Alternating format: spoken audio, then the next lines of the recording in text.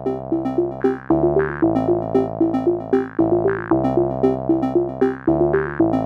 guys, this is Roflcowpter from Phexah, and today I'm going to show you how to put custom artwork into Minecraft.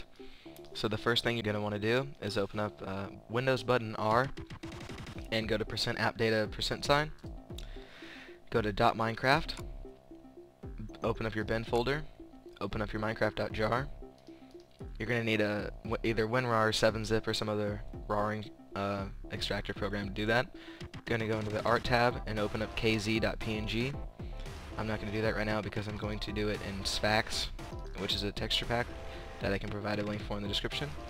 Go into Art, KZPNG, open that up in some kind of photo editing software. I'm going to be using Photoshop. And see, I already have some pictures in here, but basically the default pictures are, uh, sorry about that, they look like, just like these ones right here. So I'm going to open up a file in Bridge, and this is how you do this. You uh, open up something in Bridge, and then you, let me see what I have here. Ooh, let's just open up this. Okay.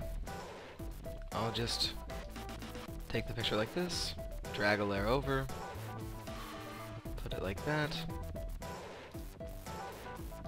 go back to KZPNG, resize the uh, image down,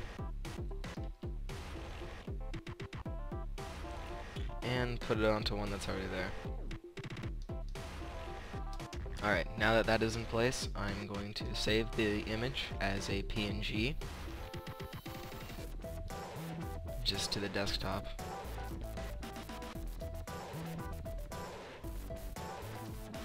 Take the kz.png file, put it back into the art folder of whatever you're editing. If you're using WinRAR or anything like that, you won't have to uh, replace the file, but you will if you're doing it with your uh, minecraft.jar. Now that's complete. I'm gonna jump over to some video and show you the uh, work in progress. Alright, so this is, I chose to use Sphax because if you use the 128 then you can actually um, use text in the pictures, so I'm just going to try to see custom painting that I put in real quick.